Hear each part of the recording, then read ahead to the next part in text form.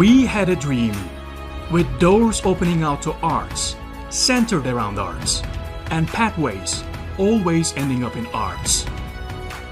When it comes to culture and arts, these lands are so fruitful and so rich that we set out on a journey to bring this unique treasure to the whole world and to bring our voice and words to all corners of the world. With this love and passion in our hearts, and under the leadership of founding rector Professor Erol Parlak, we saw the very first season of Ankara Music and Fine Arts University on July 1, 2017, with the goal of turning Turkey's capital into the capital of culture and arts. We set the goal of leading the journey of arts through time and space, while promising harmony for a sensitive world that listens. To reach this goal, we first gathered experts in their fields to create our academic squad.